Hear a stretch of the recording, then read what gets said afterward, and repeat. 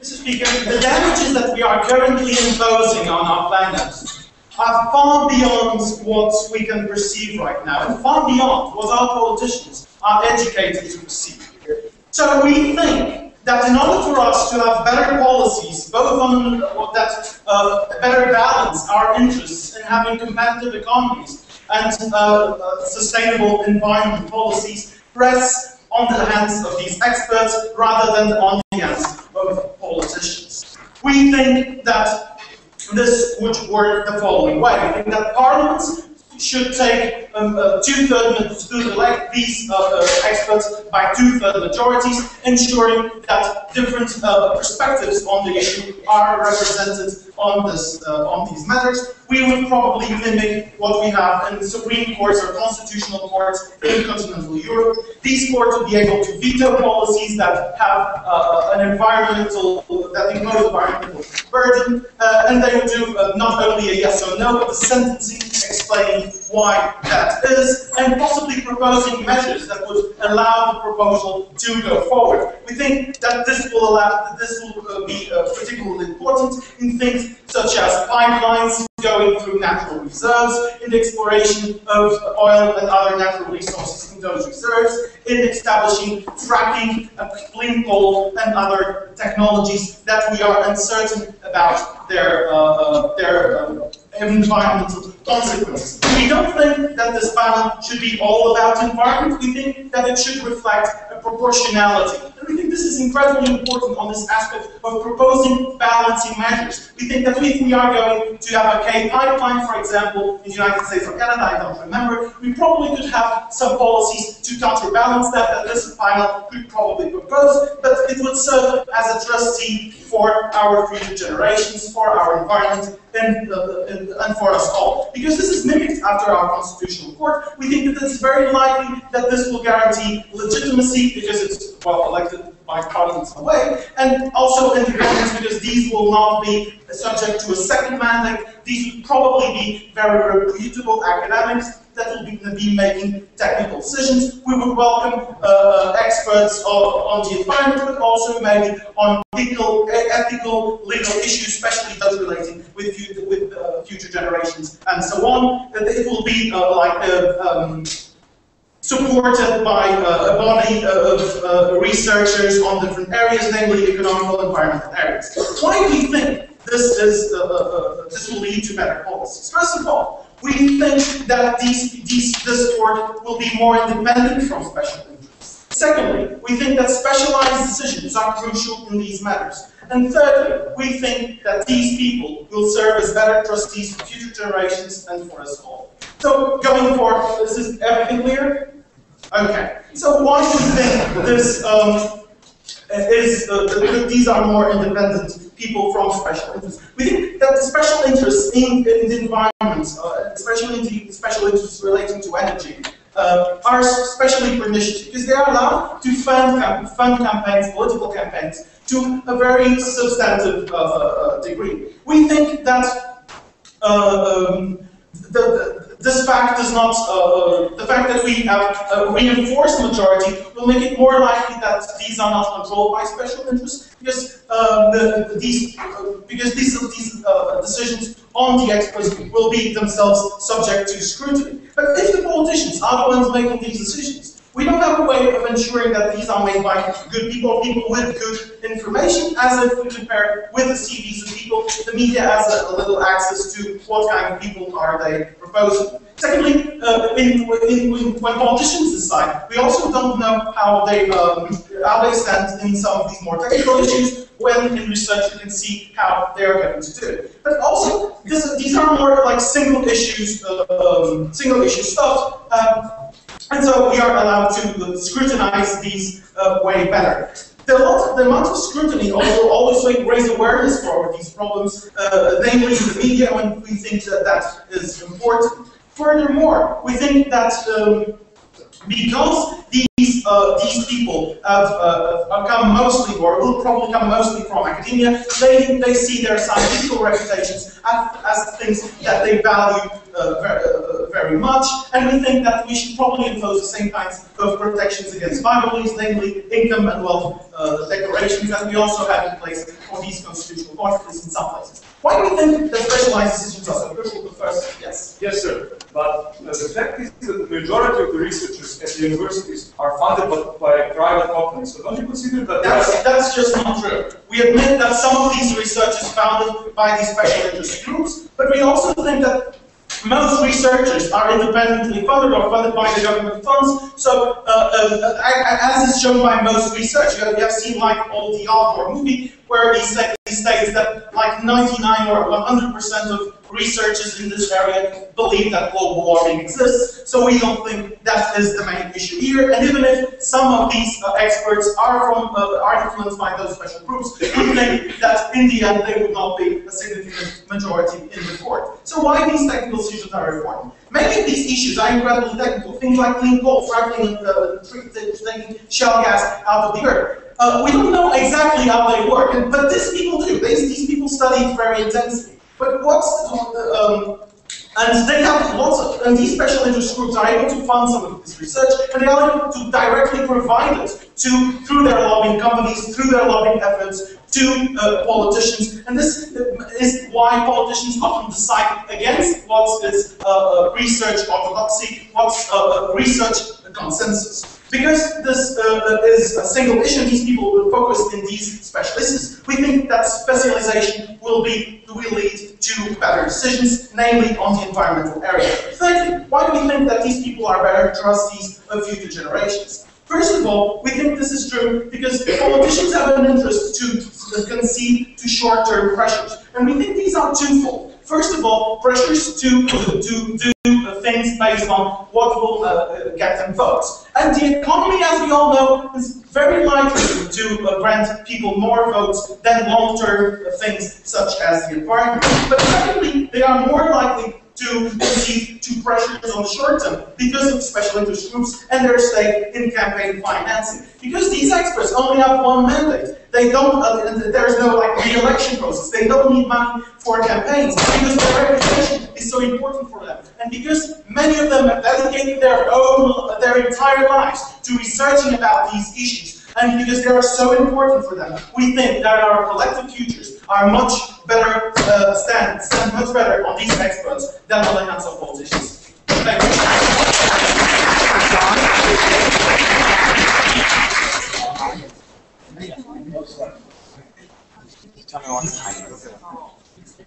My thanks to the Prime Minister for his remarks, and I'll call upon the Leader of the Opposition to open the case on behalf of the Opposition bench. Here, here.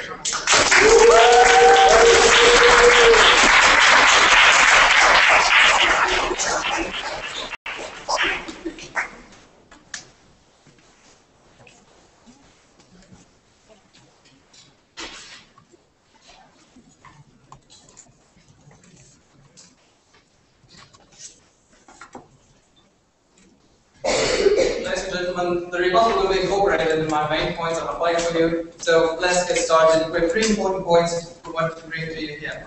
Firstly, that science does not equal truth and does not equal objective knowledge of things. Secondly, that democracy um, is more than science, that science, that democracy is better suited to making important decisions than scientists.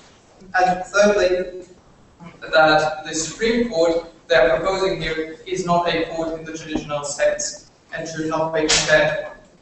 So firstly, why does science not equal truth? This was basically what the majority of the proposition's um, argumentation was based on. The thinking that scientists are better suited than politicians to make the right decisions when environmental processes are concerned. However, in science we have a lot of processes um, that are not leading to truthful, to objective decisions, but to very subjective. Like in science, we also have kind of infights. We have people being invested in their theories. And this is especially true in environmental cases. because environment is extremely complicated and we do not have a clear scientific grasp of what's going on. Most people agree that there is climate, climate change, but some people say there is not. And these people are legitimate, uh, legitimate scientists as well. Sure. The environmental models that we need in order to um, modulate things um, like the relations between various biotopes, etc., are highly complex and are not even close to being fully understood. Sir, So what we have is science, of course, since these people are seeking the truth, but it is still very speculative. That even scientists cannot know today uh, what the future will bring in with regards to the environment. No, thank you. Now, why is it that important that democracy must always trump science? Well, first of all, we have nothing against scientists in and of themselves, and that's the reason why most politicians have scientists that tell them about the issues um, with different projects. Of course, politicians inform themselves um, about what's going on in science, and we have specialized politicians in most parliaments that tell their fellows um, what scientists provide them. So um, that is why we have a scientific component in democracy as well. What happens is that academia does not uh, does not have an incentive to feed politicians as special interest do. In academia, it's just publish or perish, not give your results to politicians. Well, I would say that most academians would be very happy to see their actual ideas enacted in policies. This is a, a very strong motive, I would think. Now, why is it important that we give uh, politics the priority here compared to science? Because scientists do not have an overview over the full picture.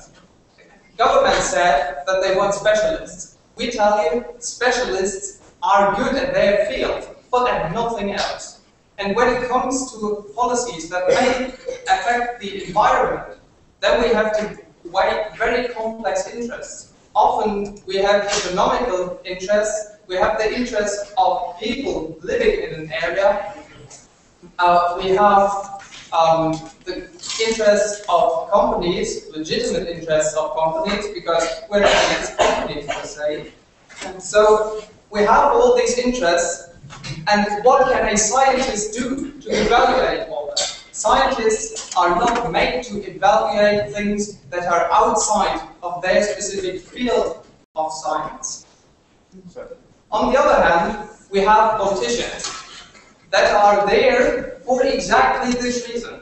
The whole process of democracy, the process of democratic debate, is made and is geared towards having different opinions on something, having different interests, and balancing them so that the best possible outcome for the majority of the voters is achieved in the end. And that is why science may not trump democratics in this case. Science does not have the necessary information, as funny as it sounds, only politics have them. And as I already said, of course, politics will use science to gather uh, additional information. Okay, if you agree that this issue is so complex and that even scientists sometimes don't have enough info, why are politicians the qualified candidates to decide on this? because politicians um, have the ability to decide in such situations because they do it all the time. Politicians are always concerned with issues that they don't fully understand. This is just um, the, um, the nature of politics, so to speak. Politicians always have um, decisions that are more complex than they can envision.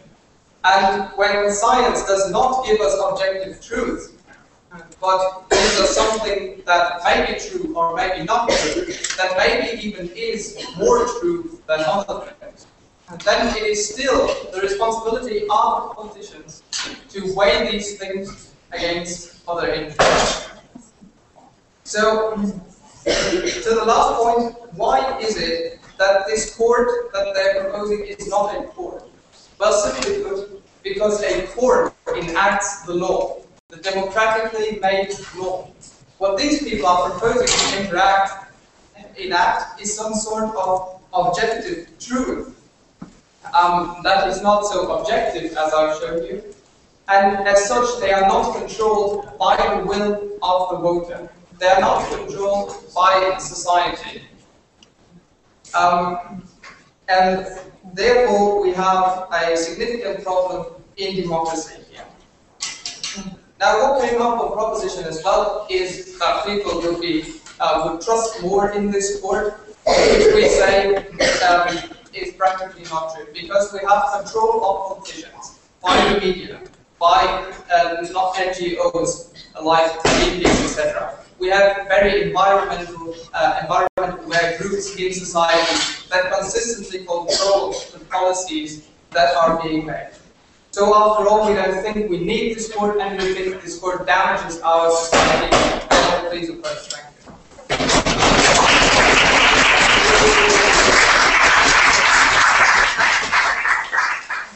My thanks to the Leader of the Opposition, and I call upon the Deputy Prime Minister to continue the case on behalf of Government Bench. Here, here.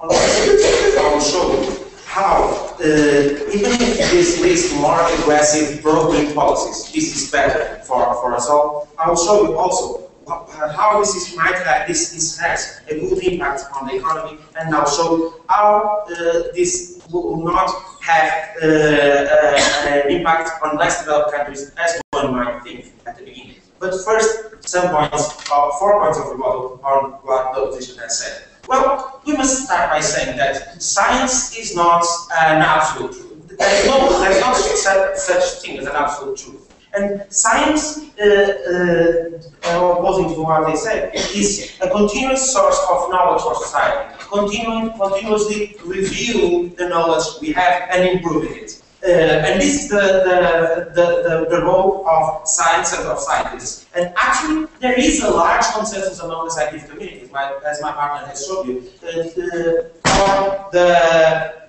the bad impact or, or the existence of a real, real risk of global warming.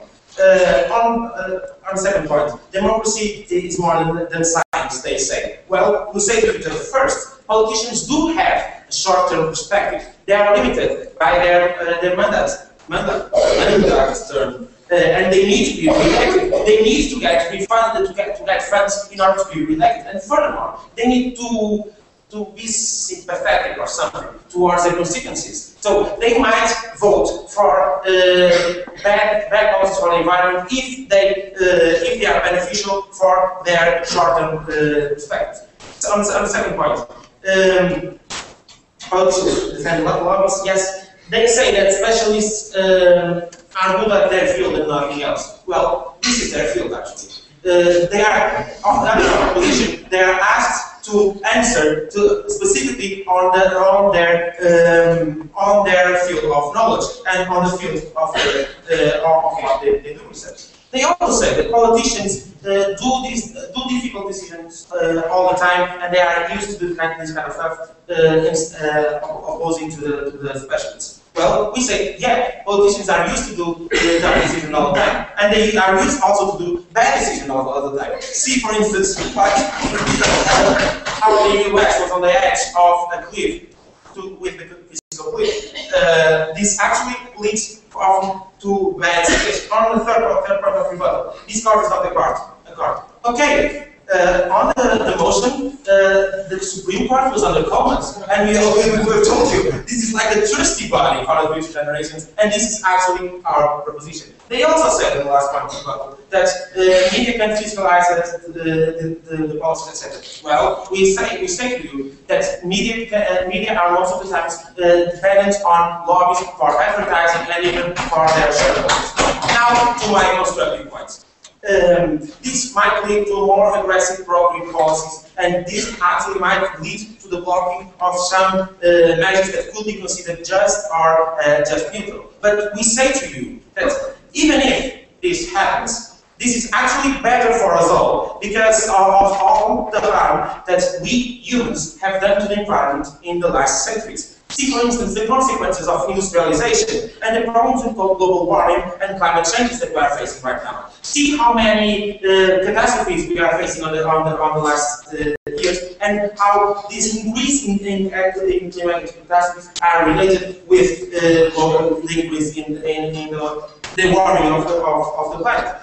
We say to you that yeah, some these might these specialists go, might at some point go over the line and then exaggerate in their pro-green policies. But we say this is better for us all. This is better for the future of our, of our country because we have been abusing of, of, of our country since uh, for centuries now. Yeah. So are you saying that we should essentially ignore all other interests, but that uh, those of the environment, and make a Of course not. Of course not. This is a discussion of fiscalization mechanism. The, the last fiscalization mechanism uh, uh, after the legislative uh, process. So first the parliament uh, makes a resolution or approves a resolution, and then it's going to be fiscalized by, by, by this board of trustees. And they'll say, and they will have the capacity to veto it. It's not, uh, it's the ultimate thing. They are sensitive. So, second, this is good for the economy. Why? Because if uh, because this, this position creates more incentives on the private sector for, for it needs to find alternatives for the current solution they have.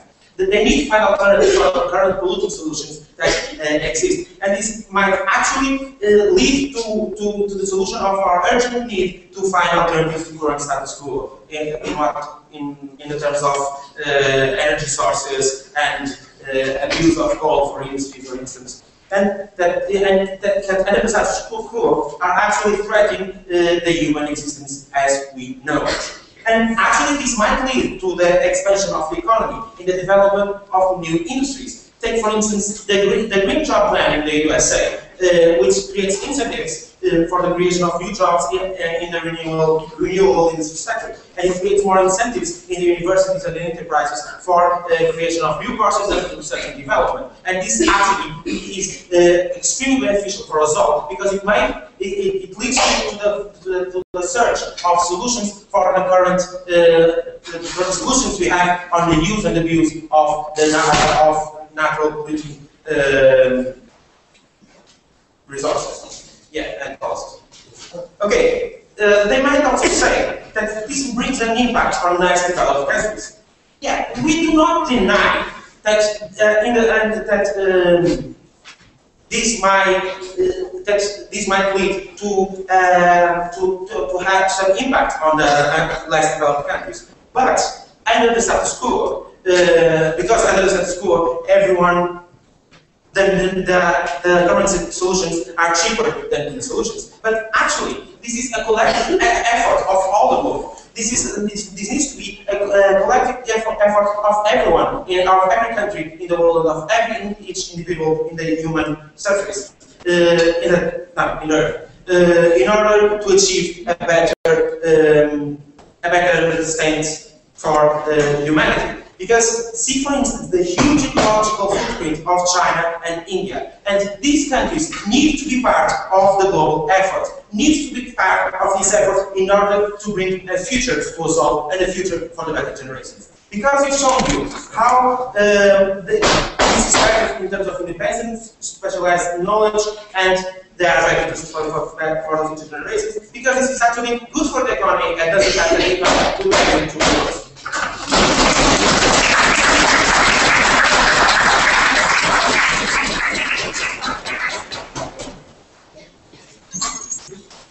My thanks to the Deputy Prime Minister. I now call upon the Deputy Leader of the Opposition to continue the case on behalf of the Opposition bench. Here, here.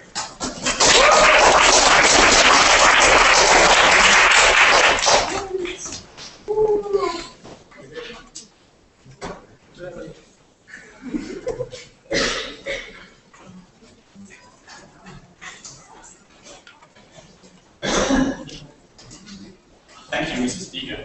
Ladies and gentlemen, And before, uh, before I come to my uh, own points, I will show you that it's to measure the interests of future generations and um, why um, uh, it can be even uh, uh, why even har harmful decisions for, uh, the, for the environment um, can actually help future generations. Some points might rebuttal. Uh, we've heard that the freedom policy is always uh, the better policy. Um, well, Jannis has already shown you that we don't know the impact on uh, such policies that are uh, uh, that have environmental consequences. Um, so it might be the case that we have a situation that we are not rectification, rect- uh, are not going to do the policy, um, uh, although it has no uh, future, no real impact on future generations.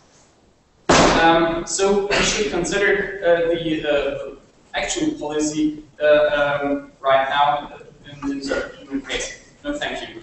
Uh, is that uh, it can uh, create incentives for, for private companies to find solutions. But let's have a look at such uh, decisions. Uh, these are actually decisions uh, done by um, the, the parliaments uh, right now. We don't need any um, uh, uh, we don't need such uh, so-called Supreme Court. Uh, um, yes, we would never call it Supreme Court because the, the, it's uh, something quite different. Um, so for, for such policies, we, there's no need for such a motion.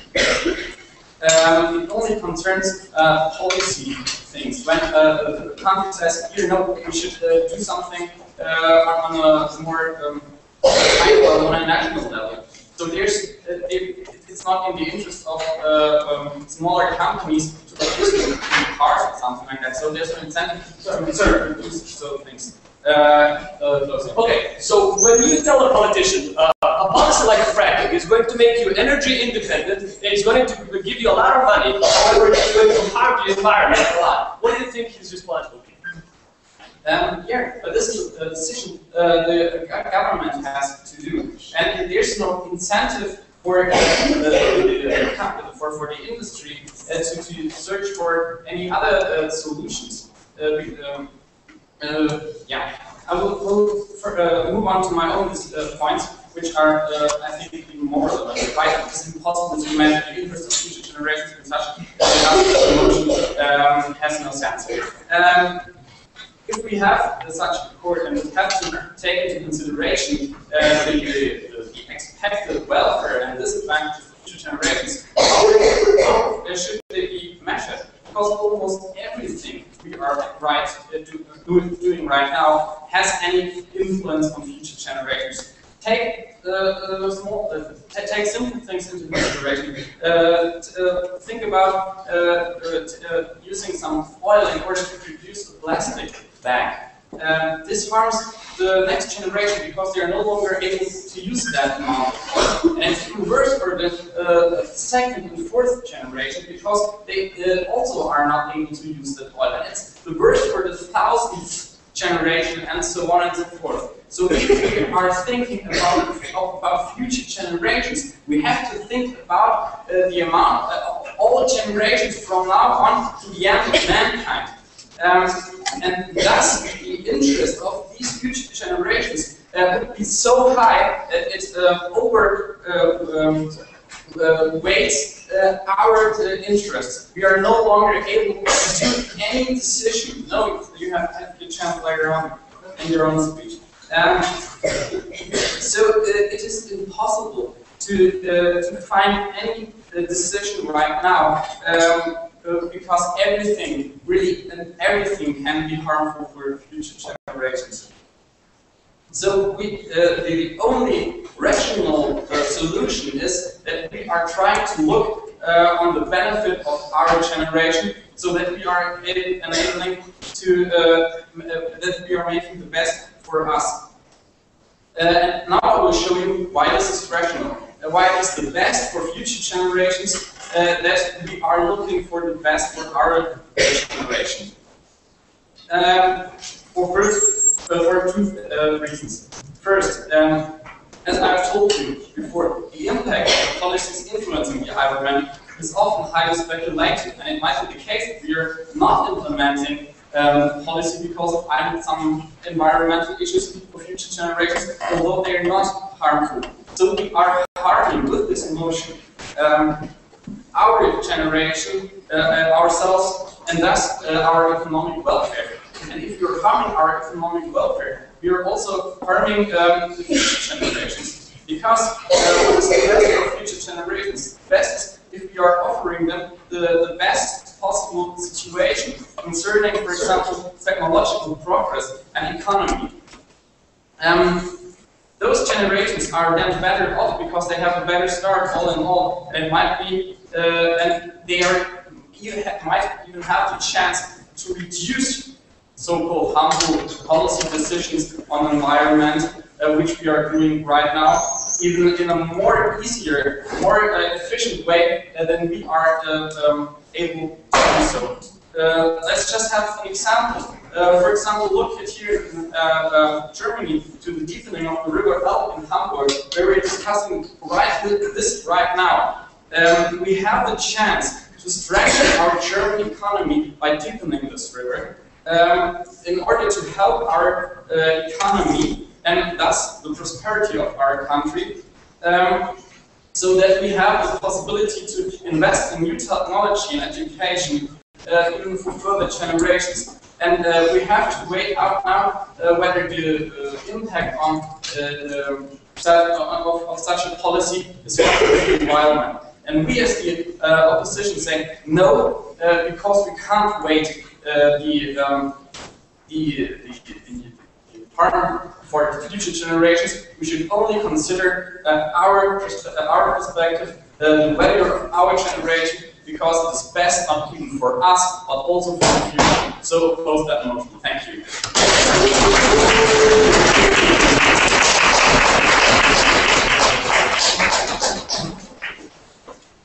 My thanks to the Deputy Leader of the Opposition, and I'll call upon the Member of Government to continue the case on behalf of the government bench and open the back half of the debate. Hear, hear.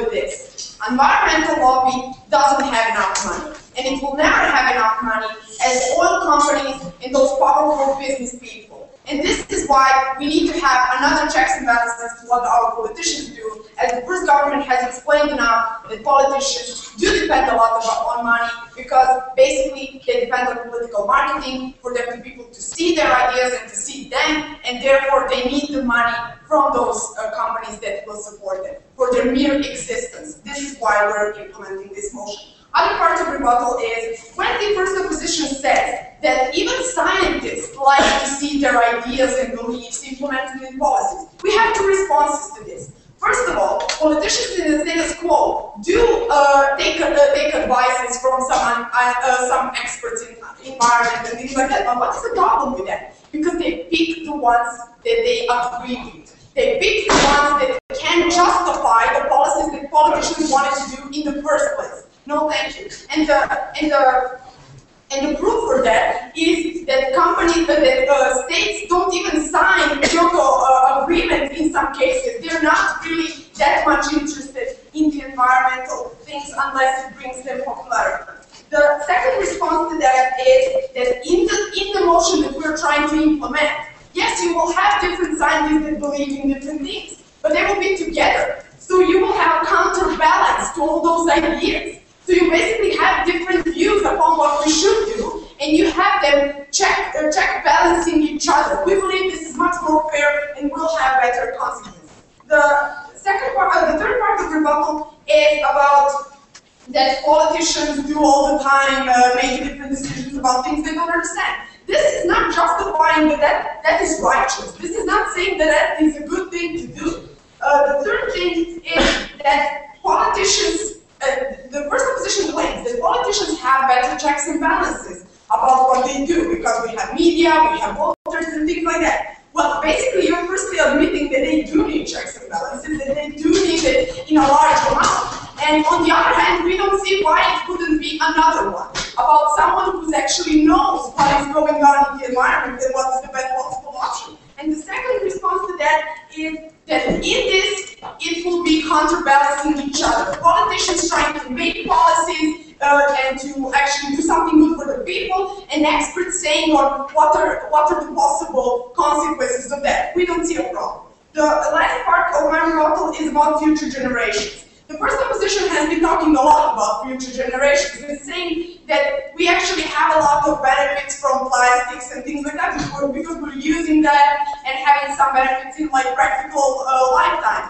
But and the end of that is even if it, they have some bad consequences, we believe in the future generations that they will uh, find a way to actually benefit from that or to uh, diminish those bad consequences. Well, we see that that was the, uh, the instance of the thinking that was wrong in the industrial uh, in the in the uh, in the industrial time, because basically we were always depending that some smart uh, scientists would figure out how to get uh, get us out of this mess. And we saw that that was detrimental for the environment, and this is why people are dying of cancer and living in terrible uh, conditions for, for their life. Now to my success.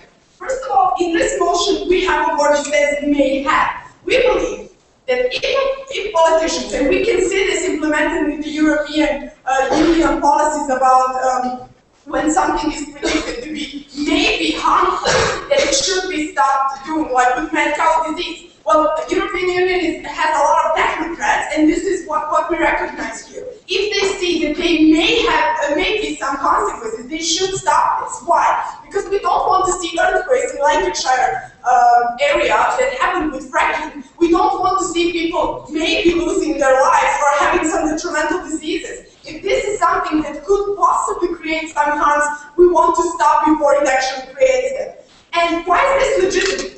We in the status quo already see that we put our faith in experts, like with courts, where we don't actually pick and choose by democratic elections our judges, but because they are very scientifically experts of that area, we put our faith in them when something is so important as a judicial system.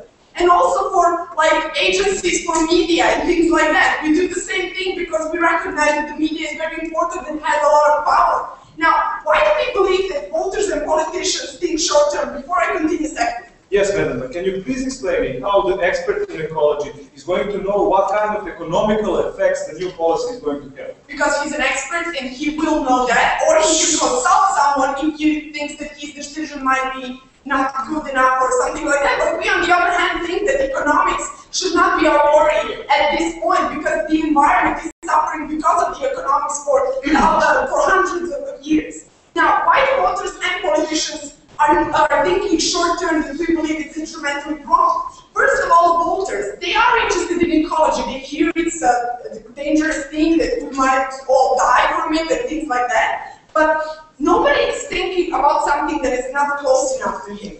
The only people who are complaining about ecology are the people who actually cannot breathe because of the pollutants. The other thing is that they have fear from the ecology. Sometimes politicians can actually scare their people because they don't know much about ecology and sell them stories that are beneficial for them. We believe this is detrimentally wrong. And on the other hand, politicians uh, gain their uh, motivation by saying in, elec in elections like, we brought you jobs, uh, we brought you uh, workplaces, we brought you, and they are thinking about power independence. And this is something you that is striving for them. Why? Because in the international community, dependence on power is something that gives you power in the international community. Russia can do a lot of things and never be questioned just because it has a lot of gas.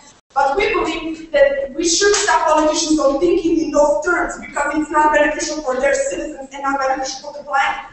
And what is a lot, uh, a lot important here uh, as well, because now when politicians actually give some policies to this court or something like that, if the court uh, refuses them, it sends a message that the politician is not thinking right about their citizens. What does that mean? That means that the politician is not accountable enough for their citizens. And this is something that will motivate politicians to think more about the environment. And on the other hand, we could get rid of politicians that do not put their citizens in the, in the uh, equation of the environment and on the uh, job places.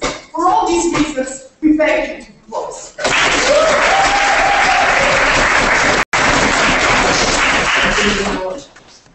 My thanks to the member of government. I now call upon the member of the opposition to continue the case on behalf of opposition bench. Hear, hear.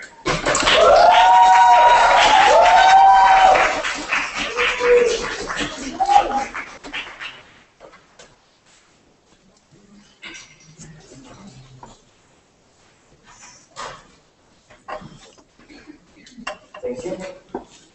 Before I, before I start, can I say something? Just one sentence. Sure. It- It's an honor and a privilege to be here with another team from University of Belgrade from the, from Serbia. And it's an honor to have four teams from Belgrade and Serbia in EFL semifinals. I just want to say that. Now, our substantive is going to basically be about geopolitics and economics and how this will harm third, uh, third world countries, developing countries, and how this crime is far, far worse for these countries and for their government and for any benefits for the global environment or for the.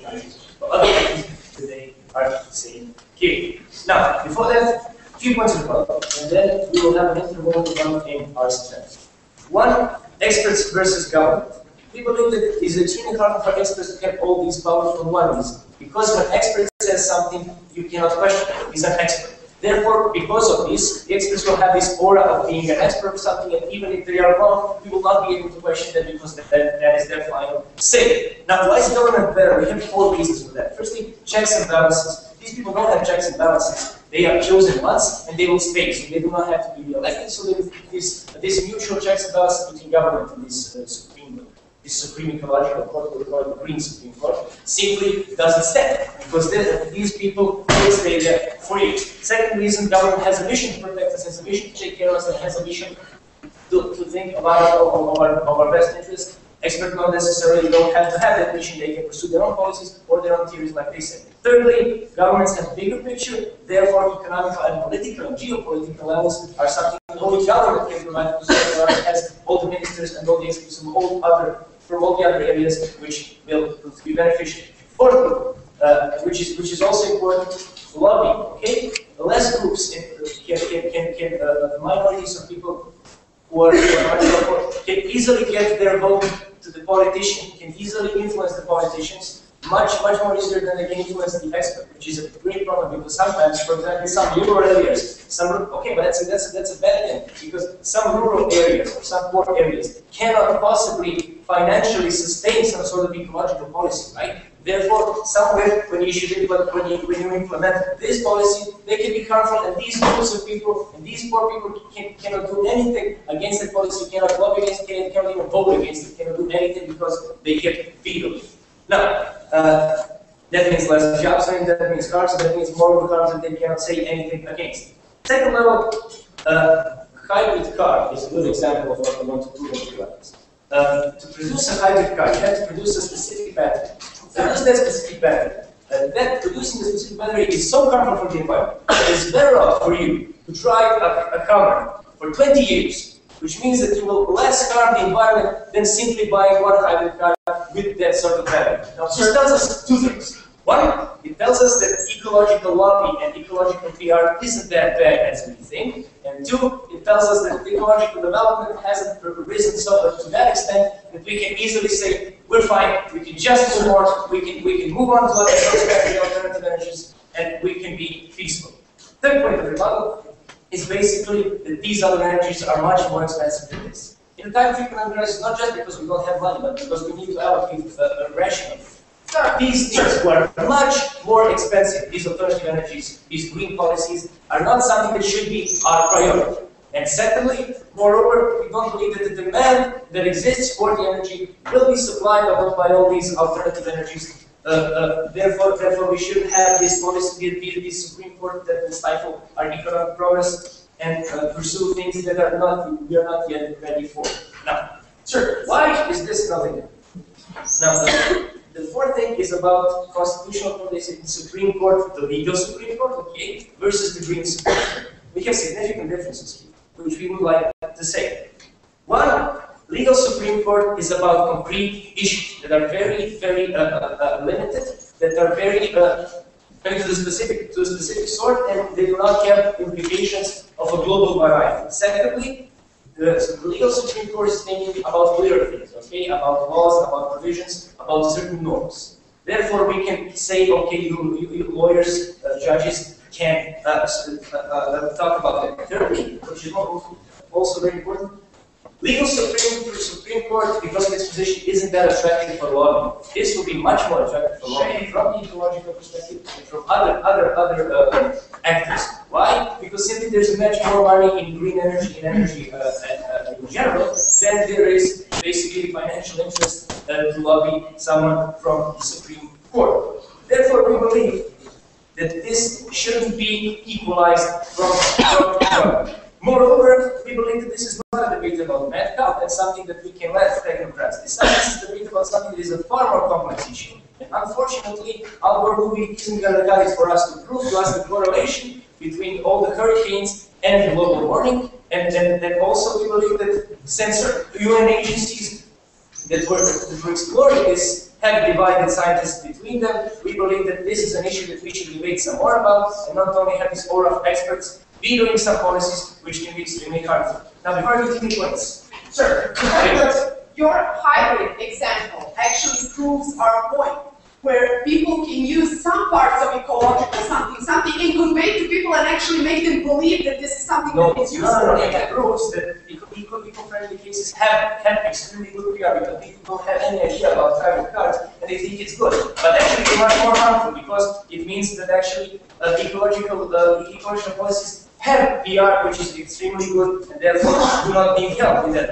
perspective. And I'm moving further. Thank you to substantive developing countries, which we think it's extremely bad for four reasons to put this in developing countries. One, economic development in these countries is based on these energies that are uh, unfortunately coming from the environment. They have responsibility towards their taxpayers, towards, their citizens, and not responsibility towards the planet itself. Uh, therefore, they should they should care about economic development in their own country. Now, that will lead to stability in their own country because that's also an issue in developing countries. When you have economic instability in these countries, you're more likely to have political instability in these countries. Second level, small countries need to be politically independent. That's very important in this case. Because if we if some countries have some ecological, ecological detrimental policy, like for example, why, don't we say the United States would like developing countries use fracking or some other means that are necessary to get more political independence because that will be better for them as a political subject and that will be stronger for them. We believe that Russia example is an excellent example for our country Russian citizens are much better off because their country is powerful in the global arena because of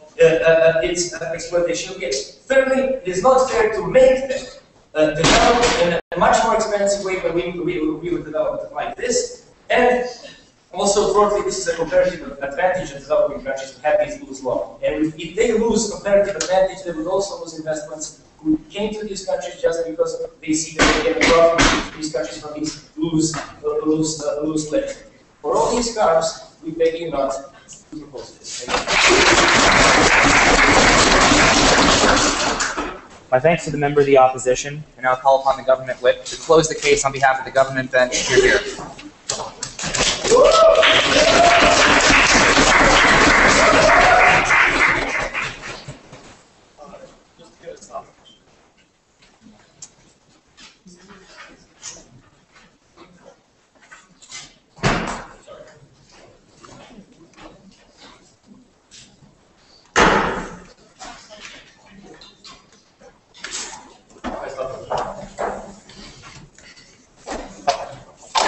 Um, thank you very much. I'm going to start by rebuttal and then I'm going to sum up this debate in questions. Uh, first of all, let's see what we have heard from the side of the second opposition. So first of all, they say that experts uh, are sometimes wrong and therefore we shouldn't listen to them. We have a couple of responses for that. First of all, they believe that they are simply less likely, for example, to be wrong than politicians, ladies and gentlemen. They have no idea how the environment works. That is the first thing. If we say uh, experts are more likely to be wrong, then why, in the name everything, are we giving these decisions to politicians who didn't even go to universities to educate themselves about environment? We believe that, first of all, uh, experts are less likely to be wrong. Second of all, is that we believe that since this is going to be an independent Supreme Court of different uh, experts, we're going to have a discussion and therefore be able to get uh, uh, not only to listen to one opinion, but be able to uh, you know, learn from a plethora of different opinions and then find the one that is most likely to be right considering the environment. And we believe that that is enough to say that even though that they might be wrong, we think that they're more likely, much more likely to be right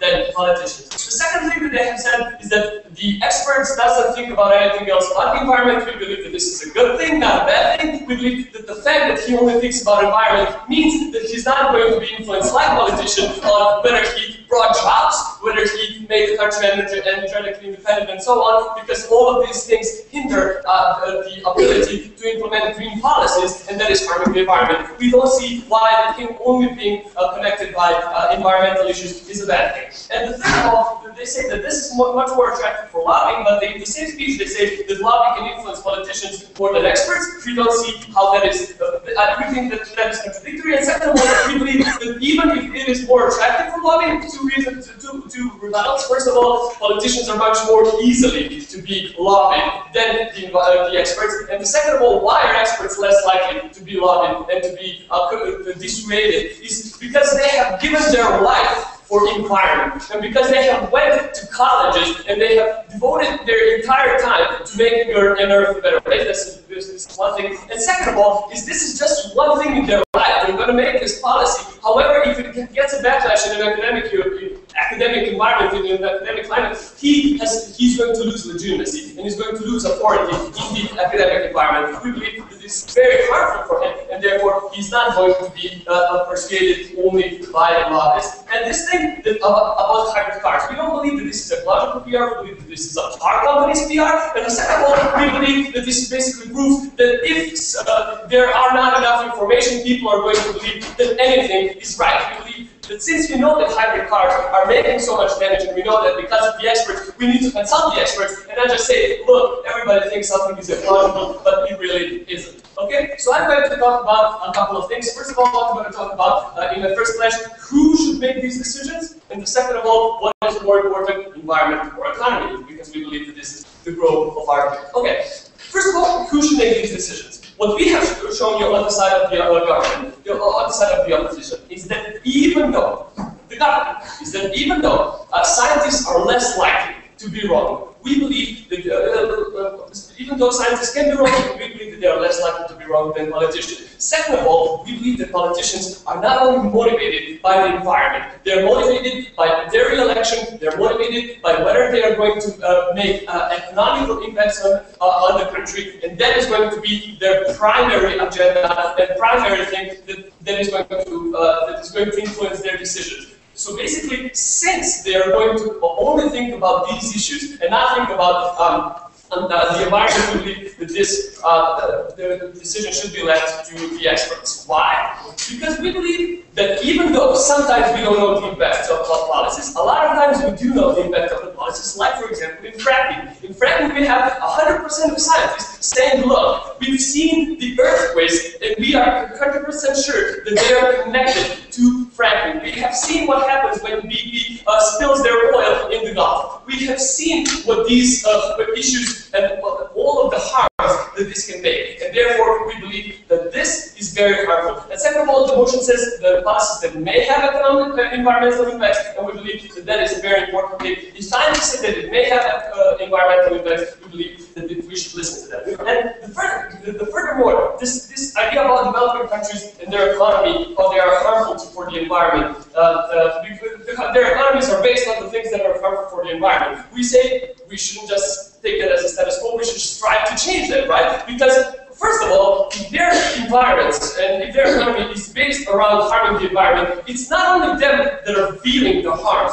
it's the entire globe that is feeling the harms, ladies and gentlemen. We believe that this is the reason why we need to implement these policies. Because, as Marija said, people are only going to think about the things that are closest to them. And, and, therefore, uh, are not going to think about the environment the same way that expert is going to think about the environment. But the second reason that is very important here is that right now politicians still have legitimacy to talk about these issues. Why do they have legitimacy? Because, as the opposition said, they can consult experts, right? And they say, look, we've consulted the experts, we have agreed that they are either wrong or not wrong, and we have made their made our decision. So basically, right now, the way that they implement policies is that uh, this uh, uh, facade that they have listened to the scientists, and therefore, uh, in the eye of the people, they still have legitimacy to think about these issues. We are taking away the legitimacy from politicians to, to, talk about things that they have no idea about. And when they, when the, uh, environmental experts veto their decision, we believe that that is going to show to the voters that these people have no idea what they're talking about. Because right now, in the parliament, for example, of the, in the Congress of the United States, the people that are making decisions that are harming and influencing entire population are people like the,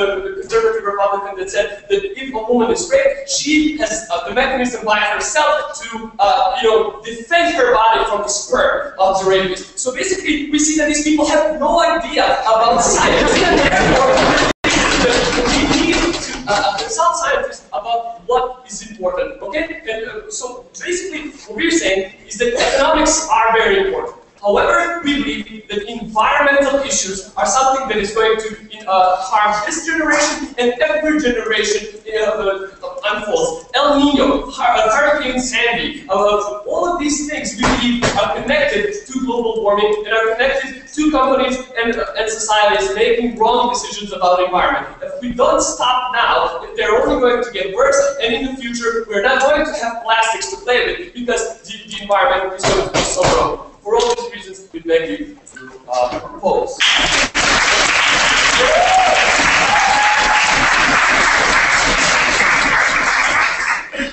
My thanks to the government whip. I now call upon the opposition whip to close the case on behalf of the opposition bench, as well as the debate proper. Hear, hear.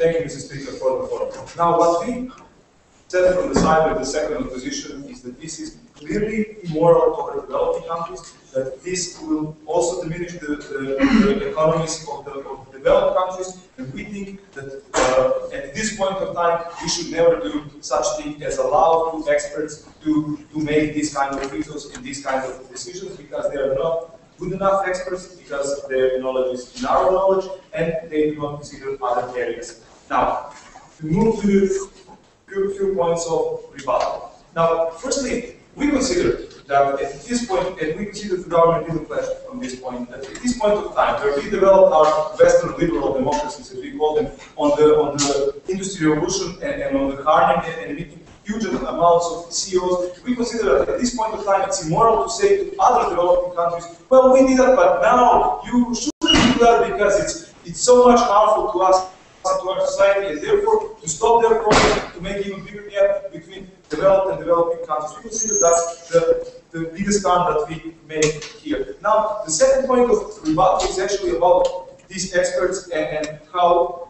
who has the more influence on people. We consider that when, when we take a look at politicians' decisions, Firstly, we have different parties which, which lobbies different kind of interests. For example, we have Green Party uh, or ecological party almost in every single country which promotes ecological politics, green politics, and things like that. But the point is that at that point you have two different political opinions, two different programs, two different policies, and they conflict with, with each other. And at the end, people choose what they want for themselves. When you have one, one Supreme Court, we consider that that's supreme authority. Why is that so? Because when you uh, look politician and, and, and, if you want to be informed voter, you take what they say uh, with with your own opinion. You do not consider that a complete truth. But when you have something said by an expert in ecology, you're not going to challenge that because you as a regular voter, do not know anything about ecology. And if that Supreme Court make a veto on something, you're not going to go out and say, well, maybe they're not right, maybe there are different different uh, opinions, maybe I should explore that. You're going to believe that. Now, why is that harmful? It's harmful because in today's world, we don't have a clear stand from the from the experts, right? You still have ecological lobby, you can still uh, along you have different lobbies. There is no clear or the complete truth, as, as the first opposition said. There is no clear truth on, on such important issues. The, the uh, experts cannot agree on those points. So we consider that we do not get the, the right thing that we want from that Supreme Court. Not thank you, not now. Now, two major, major clashes in this debate. First is politicians versus eco experts again, and the second is is it now the right time to do this? Now, uh, when we take a look about at politicians, the, the problem that we have in the plan government is that at the end, still politicians are choosing those experts. So if we have lobby interest in, in uh, or lobby funding of politicians, we still see that at the end, at the end, the politicians are choosing those ones who are going to sit in the Supreme Court. So the, if, if they are influenced by eco lobby, they are more inclined to choose eco scientists sitting at that Supreme Court. If they are influenced by oil lobby, they are more inclined to choose oil oil uh, scientists that are pro oil. Uh, uh, whatever uh, to sit there. So we see that still politicians are influencing those kind of decisions.